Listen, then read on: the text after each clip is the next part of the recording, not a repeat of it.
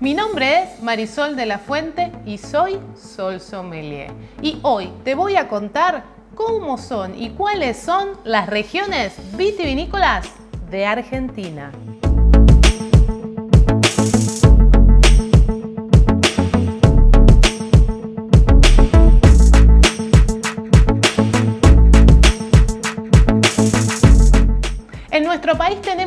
De 200.000 hectáreas cultivadas y varias regiones. Tenemos la región norte con Salta, Catamarca, Jujuy. Tenemos la región de Cuyo con La Rioja, Mendoza, San Juan. Y también tenemos la región patagónica con La Pampa, Chubut, Río Negro y Neuquén.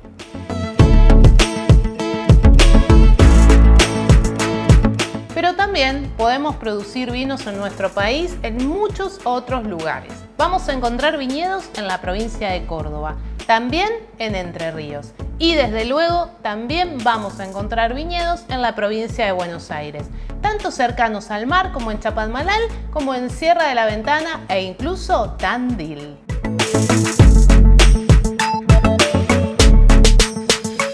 Como te decía, en esta región vamos a encontrar a Salta, Jujuy, Catamarca y Tucumán.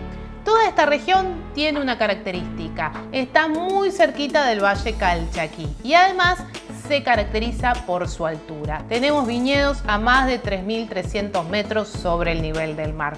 Esto nos va a dar mucha amplitud térmica, lo cual es súper importante al momento de tener uvas que nos dan mayor concentración pieles más gruesas y en consecuencia más aroma, más sabor y en el caso de las uvas tintas, más taninos.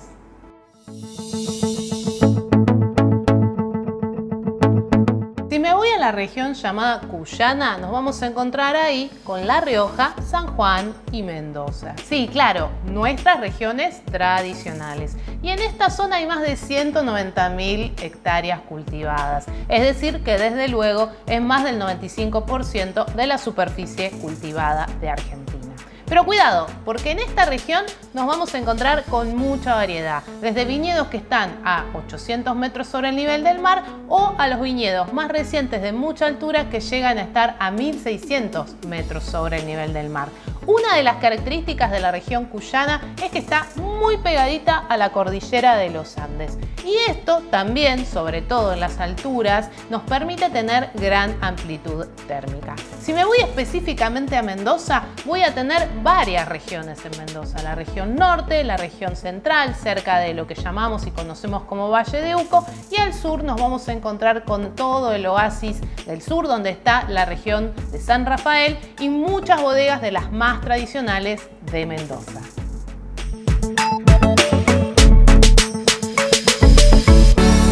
Si me voy al sur, me voy a encontrar con La Pampa, Neuquén, Chubut, Río Negro, todas las provincias que conforman lo que nosotros llamamos región patagónica. Y a diferencia de lo que pasa en otras regiones, vamos a tener alturas mucho más bajas. Vamos a encontrar viñedos que van a estar a los 200, 300, 400 metros sobre el nivel del mar.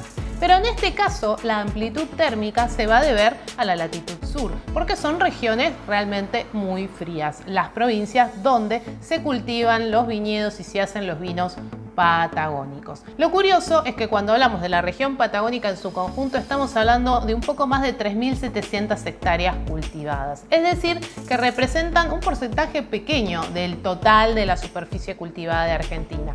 Sin embargo, los vinos patagónicos se caracterizan por ser muy frescos, muy frutados y tener un perfil muy muy marcado. Por eso te recomiendo que si querés probar vinos frutados y muy frescos, pruebes los vinos de la Patagonia Argentina. Vas a encontrar en general muchos vinos que son de uvas pensadas para clima frío.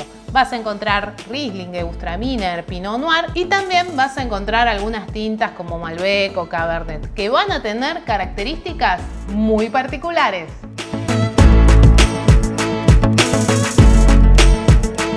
Pero esto no es todo. También me puedo ir a la costa atlántica. Podemos ir a Chapadmalal, por ejemplo, donde ahí Costa y Pampa, la bodega de Trapiche, desde hace ya varios años tiene sus viñedos. ¿Y qué se cultiva cerca del mar? Bueno, variedades que tienen que ver con los climas marítimos. Vamos a encontrar Sauvignon Blanc, Chardonnay, Pinot Noir, uvas que se van a expresar acorde a una zona de mucho viento, también mucha amplitud térmica y de una influencia marítima que les va a dar un toque muy especial a los sabores de estos vinos.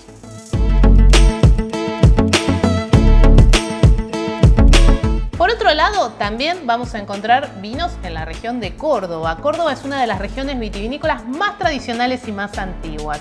No obstante, no es tan grande porque vamos a encontrar por allí unas 14 bodegas y un poco más de 300 hectáreas cultivadas.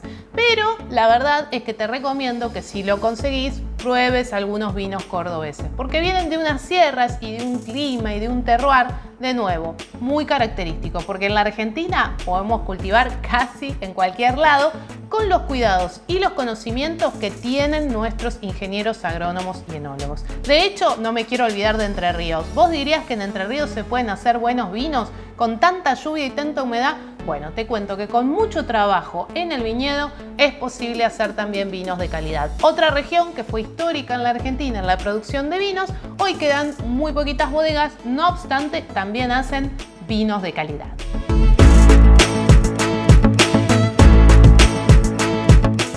Así que ya sabes, si querés conocer vinos de Argentina, no te limites solamente a los vinos mendocinos. Sabemos que son nuestros íconos, nuestros representantes en el mundo, al igual que la uva Malbec. No obstante, vas a conseguir vinos de distintas regiones de Argentina. Y cada región te va a ofrecer características particulares. ¿Por qué? Porque el terroir, el clima, el suelo, la altura, las uvas y los trabajos en el viñedo te van a presentar varietales y vinos únicos en el mundo. Así que ya sabes, si quieres seguir aprendiendo del mundo del vino, me podés seguir en mi canal de YouTube y también en mi cuenta de Instagram, Sol Sommelier. Te espero por allí para seguir hablando de vinos. Y además, no te olvides, tengo cursos pensados para vos para que empieces a meterte en el mundo del vino y a conocer todo lo que tiene que ver con la vitivinicultura y vinicultura de la Argentina.